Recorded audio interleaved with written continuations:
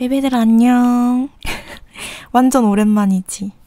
오늘 내가 완전 여리여리한 warm tone 메이크업 한번 해볼 생각인데, 어때? 나랑 같이 한번 메이크업 해보지 않을래? 원래는 프라이머를 발라줄까 하다가 문득 내가 얼굴 레이저 제모를 했다는 게 생각이 난 거야.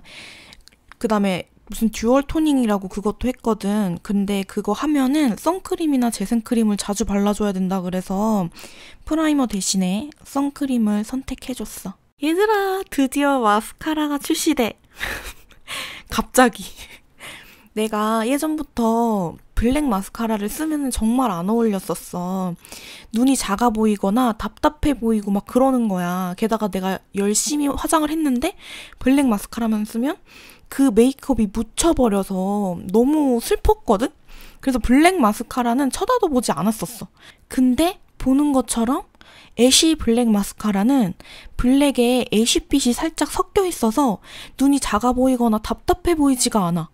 진짜 눈은 또렷해 보이는데 전체적으로 눈을 봤을 때는 되게 부드러운 느낌?